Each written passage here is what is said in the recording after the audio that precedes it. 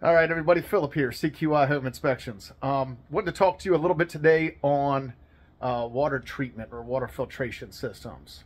Uh, behind me, you actually have a particular filter, uh, which is that guy with the blue.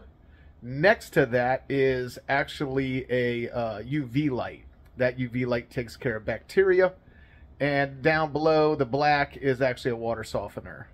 Um, now, this system cost around $3,500 fully installed by a plumber. Um, obviously, you can do things uh, yourself and save quite a bit of money. Um, but there's a couple things this helps for. By the way, we actually recommend um, UV lights on wells that are having bacteria issues. It actually guarantees, uh, as long as the UV light is functioning, that you will not have bacteria in your water.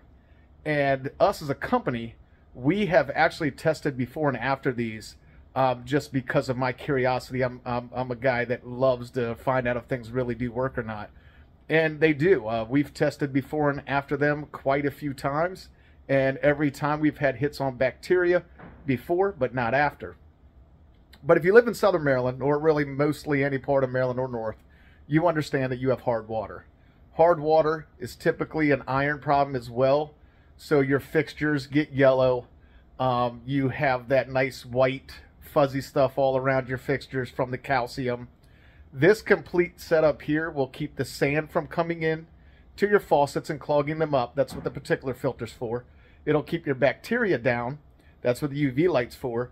And if you want to keep your iron down and your hardness out of your water, you're going to do that water softener there.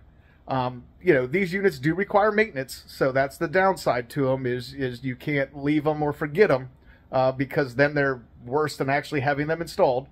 Um, but they are a very, very awesome setup, very, very awesome units to help you with all our, you know, Southern Maryland water problems.